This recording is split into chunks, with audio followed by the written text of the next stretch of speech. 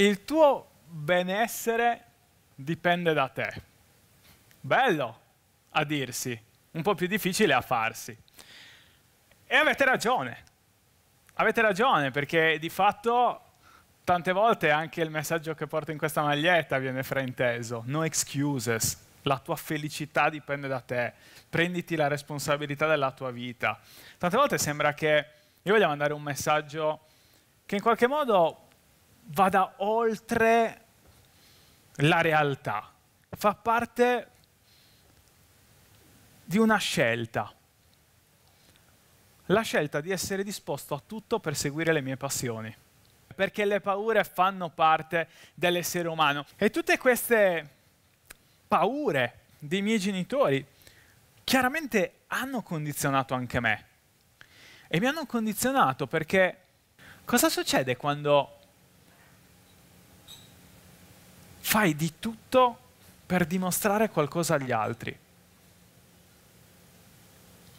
Succede che perdi di vista ciò che senti, ciò che sei e ciò che vuoi. Perché sei così focalizzato su ciò che gli altri si aspettano da te che non riesci più ad ascoltare ciò che tu desideri veramente. Le nostre prestazioni dipendono dalle nostre azioni, che dipendono dalle nostre emozioni, che dipendono da ciò che noi crediamo di ciò che stiamo vivendo, su ciò che stiamo vivendo. Ripeto, i nostri risultati, le nostre prestazioni dipendono da ciò che facciamo, che dipende da come ci sentiamo, che dipende da come ci vediamo di fronte a una situazione. Ho imparato una delle lezioni più importanti della mia vita, che spero che voi vi portiate per sempre nel cuore.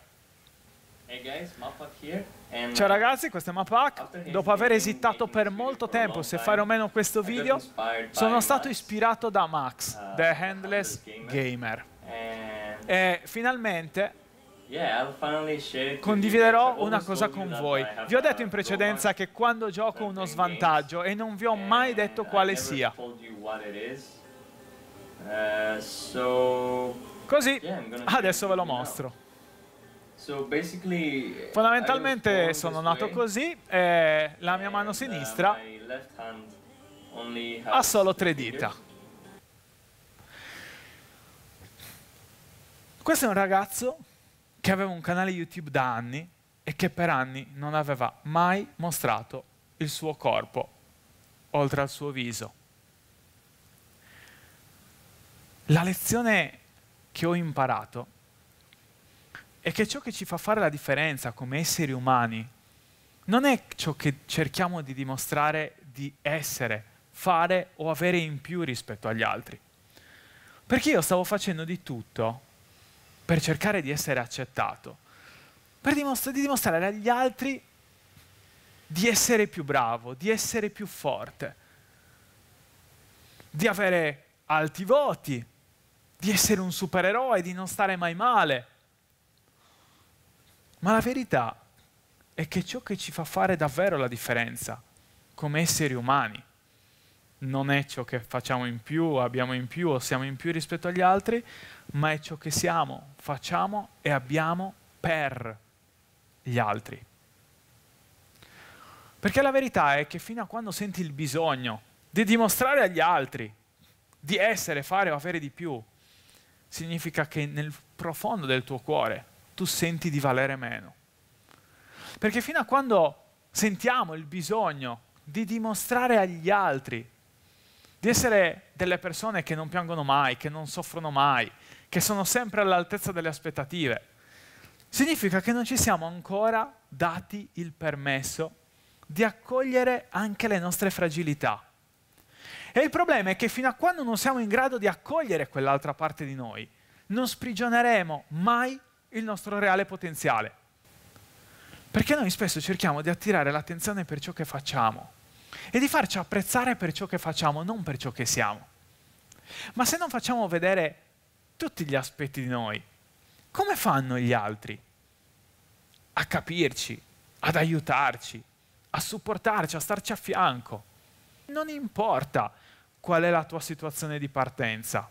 Non importa se sei nato in un paese povero, se le difficoltà che hai avuto in famiglia, non importa. Se sei nato in un corpo come questo, non importa. Ciò che importa davvero è cosa decidi di farne. È il significato che scegli di dare a ciò che hai vissuto.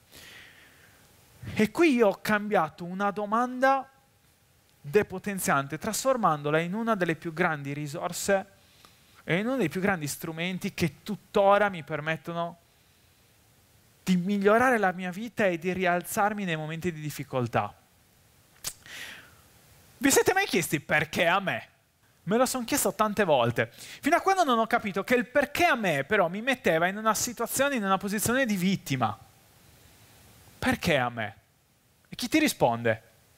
Va mai risposto nessuno? Mai. E l'unica domanda forse senza risposta, perché a me? E allora ho deciso di cambiarla. Un coach, d'altronde, deve essere bravo a fare domande potenzianti. E mi sono chiesto, se avessi costruito io questa situazione, se avessi scelto io di vivere questa situazione, per quale motivo lo avrei scelto? Non è più perché a me, perché perché a me non dipende da me.